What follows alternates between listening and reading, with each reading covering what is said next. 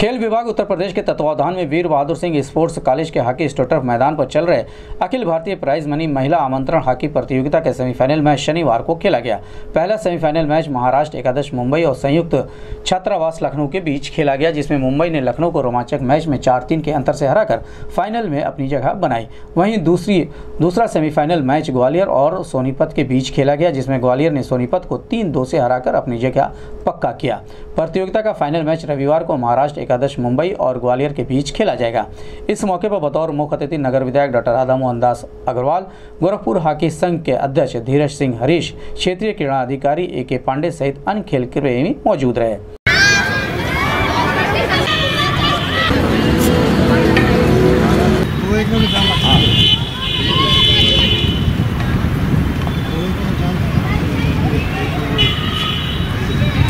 यार संध्या तो उठिए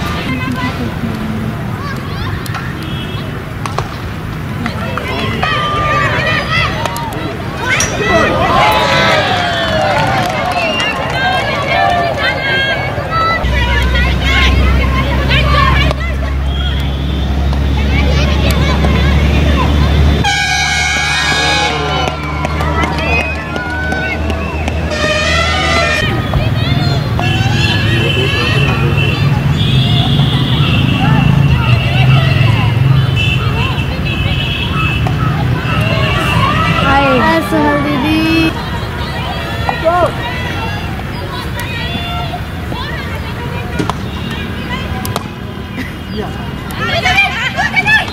समोंदी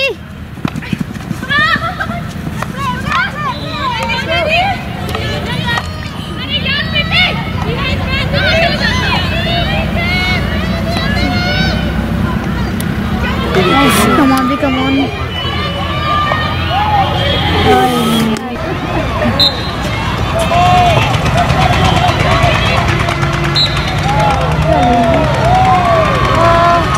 यहाँ पे जो दो